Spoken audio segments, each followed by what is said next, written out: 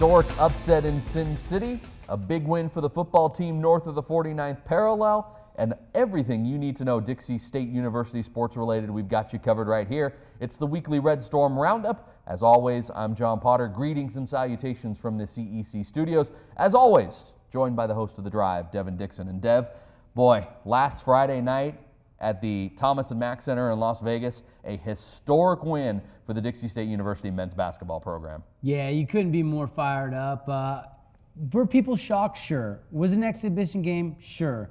Was I shocked? No. You know I mean it was a one point game a year ago. They lost in overtime. Coach Judkins had the kids ready to go.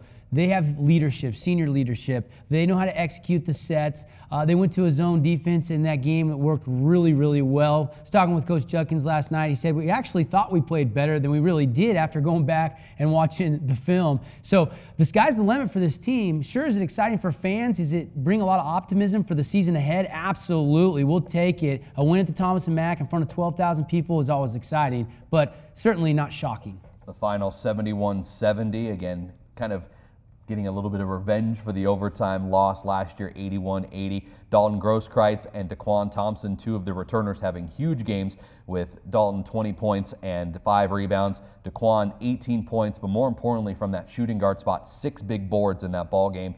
One of the newcomers, Mason Sawyer, coming in with a nice game of 13 points. And then Kimball Payne, who is the returning point guard for this team. A lot of scrutiny last year in the losses that he wasn't able to maintain possession of the basketball, would turn it over in key times, including that exhibition last year at UNLV. This year comes up with a nine assist, one turnover ball game. Much better performance from Kimball in that one. Yeah, and I, here, here's the thing. You know, you love the scoring you see from Mason Sawyer. If he can come in and provide some scoring and give the defense a different look, that's fantastic. And then Kimball comes in and he can speed up the tempo and get out and dish in transition and defend. You know you're going to get 110%. It's fun to watch Kimball's progression now in his senior season. He's come so far. His, remember when his free throw shooting was a struggle, and he improved that last year. And now if he can really limit the turnovers and Sawyer there to back him up and splitting time, keeping those guys fresh, that could be a very, very, very nice weapon to have at the point guard position if you're Coach Judkins. But I was impressed with Daquan Thompson in that game. Seems like he's not nervous anymore. He's not looking over his shoulder. He's just playing basketball, the game he loves.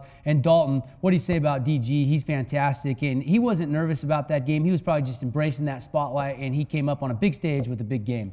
We'll have more of that game when we talk with junior forward Curtis Pappenfuss later on. He was there at the Thomas and Mack, played some quality minutes, had a big three. He'll take us kind of down on the court and inside the huddle of that one. Also, a big weekend as the Red Storm football team won their second in a row, their fourth of the season, as they upended Simon Fraser 42 to 35 up at Terry Fox Field. We'll have full highlights of that in our next segment. But a, good win for the Red Storm football team. Griff Robles passing the ball in the rain, something you normally don't see from a football team. They try to pound it in the rain to have ball control, but 319 yards, five scores. Mitch Fry, Joe-Don Duncan, another big game. Oh yeah, I mean Joe-Don gets back in the uh, end zone after a couple games without a touchdown catch. Mitch Fry caught three of the five from Griff Robles. Uh, maybe that conversion late in the game that Fry got on third down was the key catch. Maybe just as big or bigger than the touchdown catches. John, how nice was it to call a game where we we didn't let them off the hook and we came through on the road and got a big win. That's fun to sweep Simon Fraser and to move back to four and four in conference play proud of those boys. They've stuck to it this season. Yeah, sweep of the clan for this year, a sweep of Humboldt State accounting for the four wins. We'll see how they transition against the top team in the GNAC yeah. this week. We'll have the preview of the Azusa Pacific game coming up.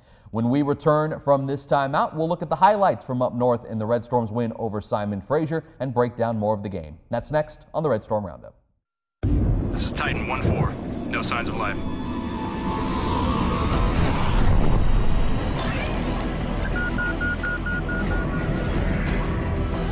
1-4, hold your position.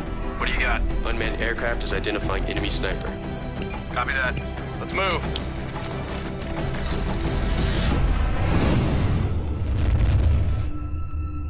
Thanks, Reaper 1-1. We got it from here. Sensors coming off target. Learn more at airforce.com. Another thing we have is our compounding section here. We brought it out front to let you watch as they are making the different compounded prescriptions, whether it's troches, lollipops, creams, capsules. It's fascinating to watch it. And they can do that here, and yet it's very safe and no one's going to be harmed. Friendly service and a pharmacist who knows you by name. Stapley Pharmacy, your complete family pharmacy. We'll have you out the door in 10 minutes.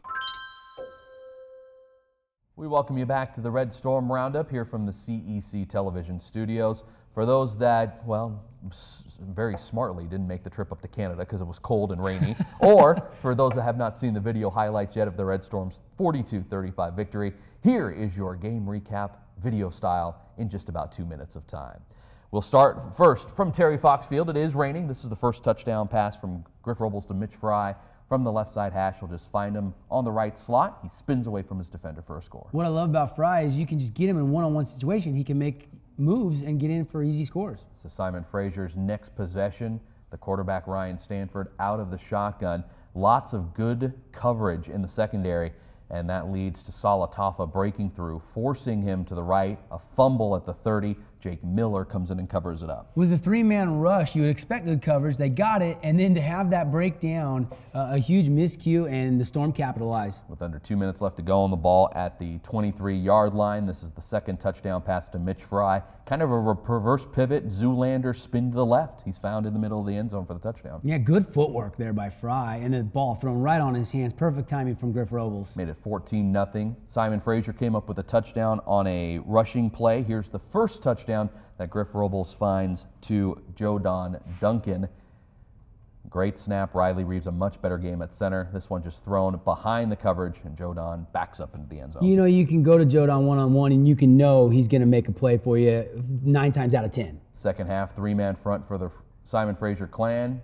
Mitch Fry from the far side crosses over the middle of the field, beats his defender, and gets in the end zone. 49 yards. That was the third score of the day. Yeah, and good job by Griff to stay with Fry. Uh, uh, initially, when he broke, he wasn't open, but then the speed to get the separation and take it in for the touchdown. Here's the second touchdown to Joe Don. Just a fade to the sideline, back shoulder catch, beats the defender. His second touchdown.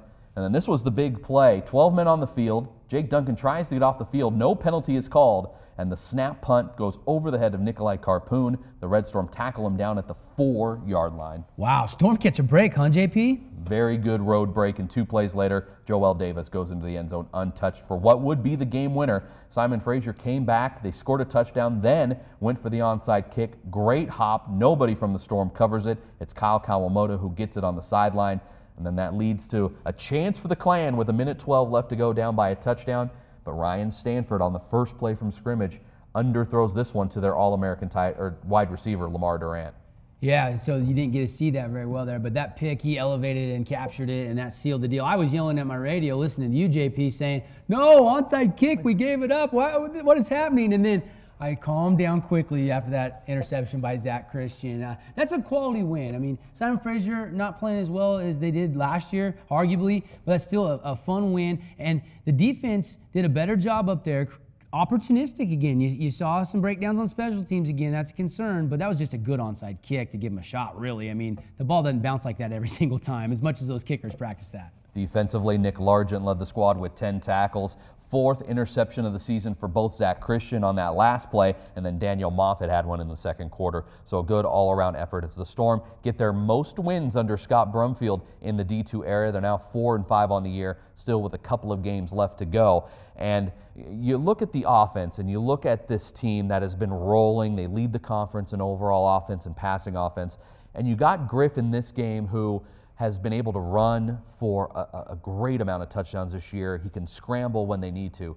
But in the rain, he decided to go to his arm. Simon Fraser went very single coverage on everybody. And to show that he throws for 300 yards in the rain and with five touchdowns, including no interceptions, is a huge game for Griff Robles. I agree. I mean, Griff, what hasn't he shown us this year? I mean, got off the season a little slow. It wasn't the first two games his best performance. Since then, uh, he's been on fire. And you're right. And, and, in the rain, you have an advantage as a wide receiver because you know where you're going. And your quarterback, if he can find you, you can uh, make some big plays. And that's exactly what happened there with five touchdowns, two to Duncan and two to Fry been a great season thus far for Dixie State University football. They'll have one more road game this week at Azusa Pacific. We'll highlight that and preview it later on in the show. And then the home game to close it out on the 16th against Central Washington, two of the top teams in the Great Northwest Athletic Conference.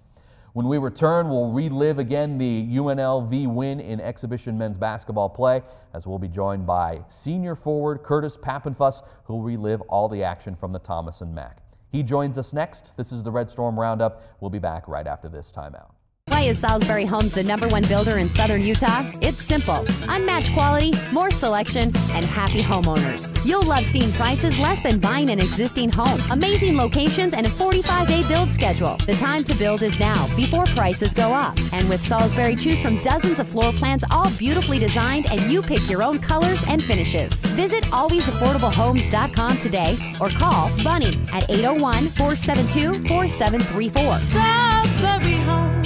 Give your favorite athletes a competitive edge by enrolling them in an acceleration training package at Intermountain Sports Performance Training. Our exercise physiologists use scientifically based training protocols guaranteed to help athletes run faster, jump higher, and perform better than the competition. Unlevel the playing field. Learn more at dixieregional.org slash acceleration or call 251 2256.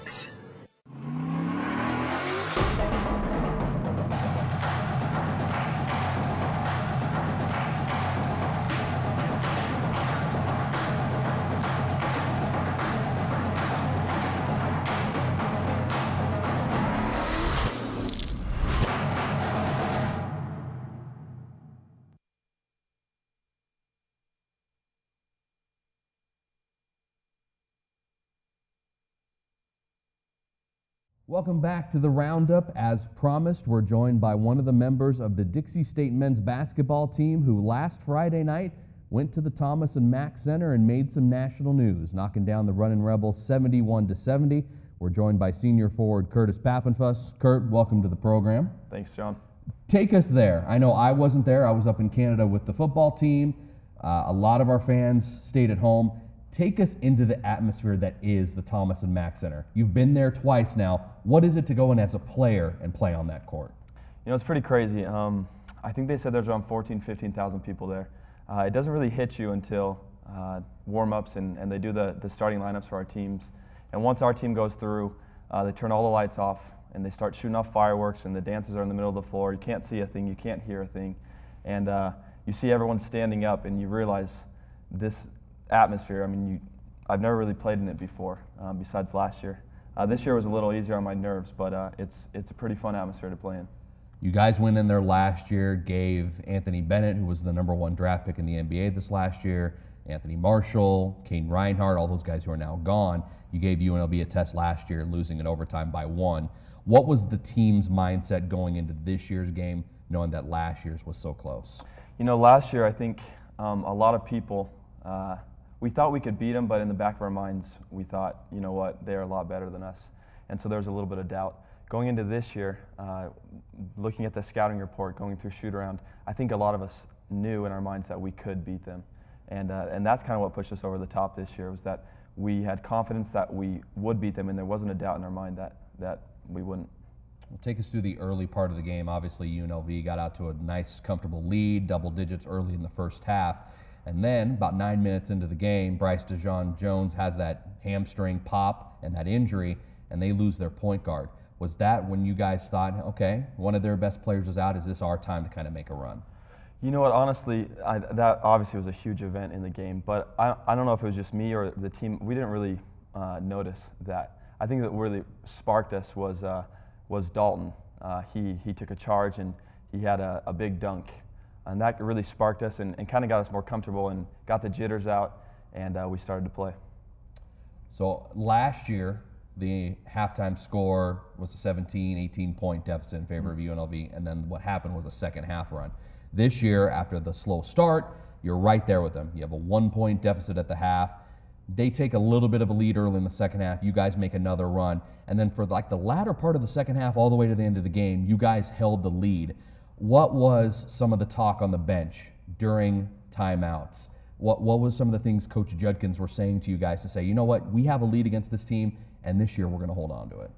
Well, really, the only thing, the only reason they were in the game as long as they were is because we were giving up offensive rebounds, uh, offensive rebounds and turnovers. But every time they would shoot the ball, they would get a hand on the ball, they would tip it, and uh, they would get, easy second uh, chance points. And so, really, on the bench, all we needed to do was box out, limit them to one shot, and if we did that, uh, as you can see, we, we were going to win the, the ball game. 0.7 seconds. Take us through that final play. Holy smokes. Uh, the play before that, Uh, they, they go coast to coast. They lay it up. Probably should have made the layup. Gets punched out of bounds. Um, they drop a play. Obviously, you don't want to foul a jump shooter. Anyways, they drop a play for the point guard. It's kind of a fadeaway three-pointer, and Kimball Payne comes up with a huge block uh, to win the game for us. The first exhibition win against a Division One since the Red Storm have gone to NCAA play. Now you've, if you didn't have the targets on your guys' back for being a four-time Pacific West Conference champion and being an NCAA tournament team for four years, you now have got the target on your back as being the team that beat UNLV. So every team that comes in is now going to want to beat the team that beat UNLV. Talk about this weekend with the Dixie State Classic. You've got Colorado Mesa, kind of a geographic rival to start out, and then kind of a first year program, a, a team you really don't know about in St. Katherine College. Yeah, we're really keen on Colorado Mesa. Last year they beat us by about 20 up there, kind of embarrassed us in, in their tournament. Um, so, and they're always tough. They always have good big guys. They're always skilled players. Uh, so we're, we're, really focusing on them. St. Katherine's we don't know much about. Hopefully the coaches will get uh, film and scouting reports on them. But uh, two huge games. We don't want to let down after the high of, of beating UNLV. Be perfectly honest. What would you rather hit? A three point at the buzzer to win the game or a slam dunk at the buzzer to win the game? Be honest. Well, I don't have much hops, so it's got to be with three pointer to win the game. That's senior forward Curtis Pappenfuss joining us on the Red Storm Roundup. Again, the basketball team in action this weekend at home, Friday and Saturday night at 7:30 against Colorado Mesa and St. Katherines. Kurt, thanks for joining us. Thanks, Sean. Appreciate We've got our sports capitals next on the Roundup. If you're in pain, give us a call. We use the latest technology to get you pain-free within six visits. If we get you in early, we can actually help reverse the effects of the car accident now versus waiting and having to do more treatment. This is Dr. Justin Poppy. Dinner and a movie on the doctor.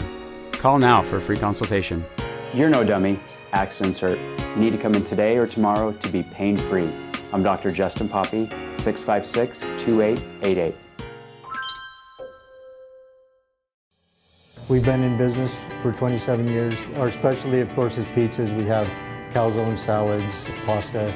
We use whole milk mozzarella cheese. I think the most important thing that makes good pizza is the crust, and then, then the marinara sauce, and then fresh toppings. It's great food. Uh, the price is, is reasonable. You come and try it. I promise you, you'll love it, and you'll you'll come back. Just come into Roy's and give us a try. It will be the best pizza you'll ever eat. Welcome back to the Roundup. Our thanks again to Curtis Pappenfuss for joining us, reliving that UNLV game. The electric atmosphere, and as you heard from him, they thought they could go in and win that game, and they proved it. We'll have the schedule coming up for the men's basketball team a little bit later on.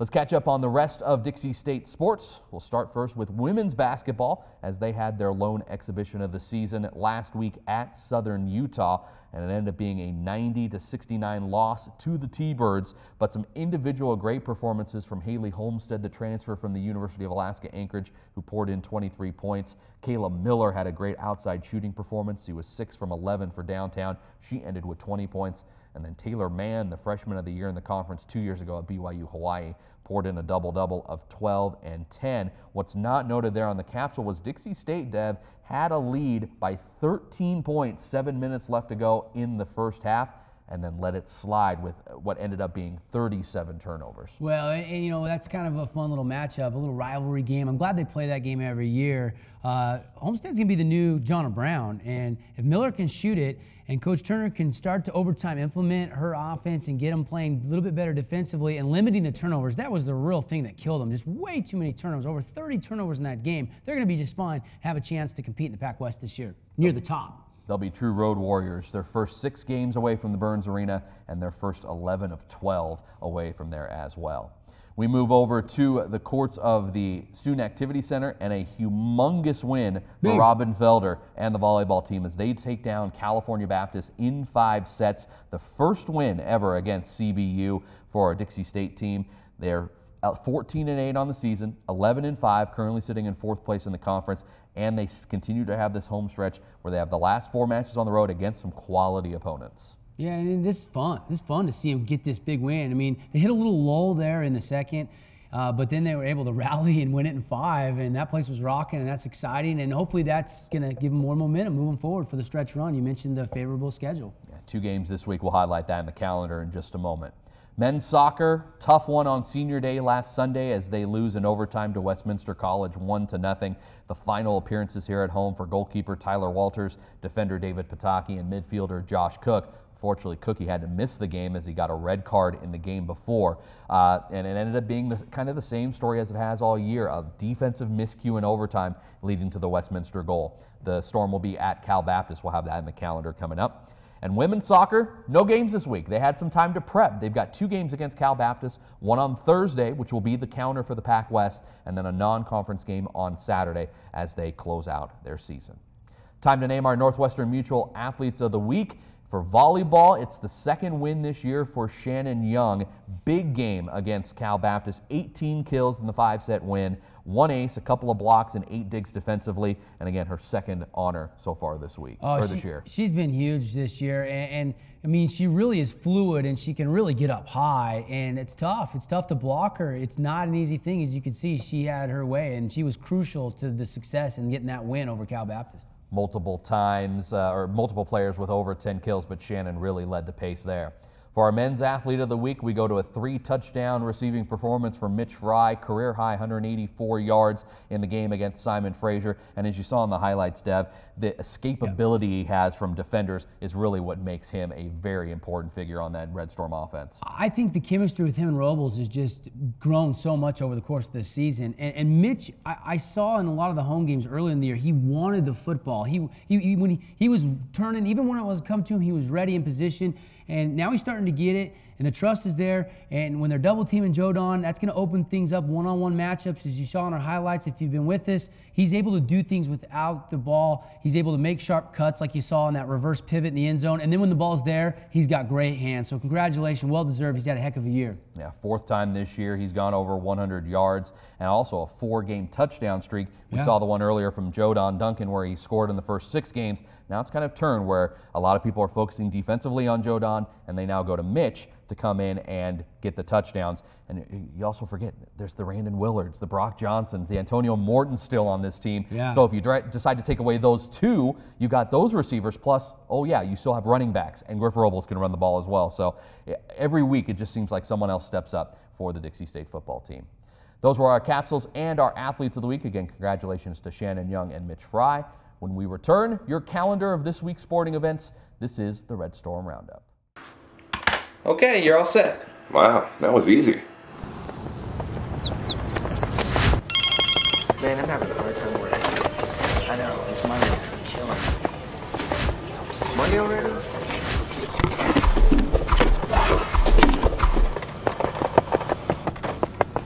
Man, what got into that guy?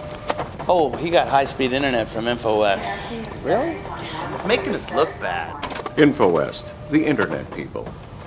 The more you ride bikes, the better life is. The deals from Bicycles Unlimited are rider friendly. Since 1974, Southern Utah's premier bike shop has certified bike technician repairs, tires, tools, tune ups, and more. With the largest array of bikes for all kinds of terrain. Their inventory is huge with top brands road bikes, mountain bikes, comfort bikes, all kinds of bikes. For maximum fuel efficiency, minimum pollution, or to maintain weight control, come to Bicycles Unlimited, downtown on the corner 90 South, 100 East. Don't forget a helmet. Welcome back to the Red Storm Roundup with Devin Dixon. I'm John Potter.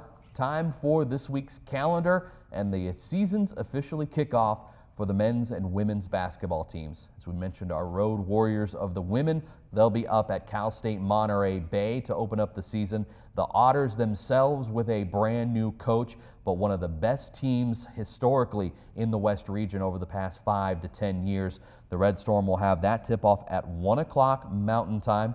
The Otters will have a video feed as well as live stats so you can keep up to date with the women's opening game at Monterey Bay this Saturday, 1 p.m. Mountain Time. Again, all of those links on DixieAthletics.com. For the men, they will host the Dixie State Classic, the opening weekend here at the Burns Arena. And the first time the Storm will now have to back up the claim that, yes, they are the team that beat UNLV in exhibition. And they'll have a tough regional test with Colorado Mesa on Friday night at 7:30. That game will count for the regular season overall standings. There's a game Saturday night against St. Katherine College, a brand new first year program out of Encinitas, California, that will be classified as an exhibition. So, uh, kind of like the UNLV game, but this time at home, a chance for the Storm to kind of fine tune after a game against Colorado Mesa. Both of those games are at 7:30. We'll have radio coverage Friday night on ESPN Sports Radio 1061, and then video and live stat coverage on Saturday. Uh, I will be with football. Devin, I believe you'll be here uh, covering the basketball game on Saturday night. It's a whole weekend of festivities as Colorado Mesa, California Baptist, one of the Pac West rival schools, and Whittier College also coming for those two-day events. Cal Baptist will play Whittier College and St. Uh, and Colorado Mesa, while the Red Storm get Colorado Mesa and St. Katherine. So kind of a, a, opening game and then an exhibition for both of those teams. Yeah, and you know you maybe like to reverse that. Maybe you'd think, oh, let's have the exhibition Friday night, but some cancels with the schedule. They had to do it this way, and and that's okay. Get out there on fresh legs and play that game, and then maybe you can get a deeper look at some of your uh, combinations that Coach Judkins will look to try to do. I mean, I bet we'll see a different starting lineup than we saw in the UNLV game in one of those two games. Juddy likes to experiment a little bit, especially early in the season. Yeah, the, the, games against Mesa after last year splitting, the Red Storm won the game in the Classic last year. Colorado Mesa, one of the teams that normally comes for that. And then the loss in Grand Junction during Thanksgiving, a game that the Red Storm had a lead late and ended up giving them a 23 0 run. So the, a little bit of re revenge on the factor for the Red Storm there. Our volleyball team in action twice this week at the Student Activity Center with a pair of Hawaii schools. They get Hawaii Hilo Wednesday night at 6 p.m. CEC Television will have coverage of both of these games on Wednesday and Saturday. 6 p.m. against Hilo, a team that they won or they beat over on the Big Island when they went the last time. Uh, uh, kind of a rough game. It went five. Dixie State had to come from behind in that one as well. Hopefully, the home cooking will be a little bit better. And then Saturday against HPU, the Sea Warriors coming in hoping to get some revenge after a three-game sweep the Red Storm put on them on the islands. Soccer will finish out their regular season at California Baptist, the women with two games. Thursday, the conference game, Saturday, a non conference game, but two really important contests because if Dixie State can pull out wins against Cal Baptist, who's regionally ranked, it could give them a outside shot to make the NCAA tournament, which would be humongous in Casey Bingham's first season. Well, yeah, she's been, I've been impressed with her all year long, and she's got the girls believing. That'd be fantastic. Even to be in the conversation would be fantastic. It's a building block year, but they've over exceeded a lot of expectations. So go get two wins and let's see what happens. The men will be at Cal Baptist for their conference closer on Saturday after the women's game. And then football, the last road game of the season, they travel to Azusa Pacific, the leaders in the GNAC, for a 7.30 p.m. kickoff. I will be in Southern California after the Friday night basketball game for the Saturday night game coverage on 106.1 FM as well as Dixie State All Access, and a chance for the Storm to try to get their second win over at Citrus Stadium. Yeah, and this is a good football team. There's no doubt. I mean, APU is atop the conference for a reason, and you know, you look at when they played earlier in the season. It was it was close in that first half, and a little separation there in the second half. Uh, they'll go back, they'll review some things. Yeah, you got to go to their place. But I think this Dixie State team is a completely different team than when we saw earlier in the year. There's so much more confidence. They're spreading the ball around. Defense is playing a lot better as far as getting takeaways. Still giving up quite a few points, but it should be a heck of a battle. Hope you tune in. And I know a lot of you probably going to make that trip down. It's the shortest trip you can make of the year. So if you want to see a road game, this is the one for Red Storm fans. It'll be a 6:30 kickoff from Azusa, 7:30 with the coverage back here in Southern Utah. Next week, we'll have highlights from our booster luncheon. You'll hear all of the coaches talking about their end of seasons and, of course, basketball, the beginning of the season. He's Devin. I'm John. We'll catch you next time on the Roundup. The preceding program was produced by the Community Education Channel and is available online free at vodov.com.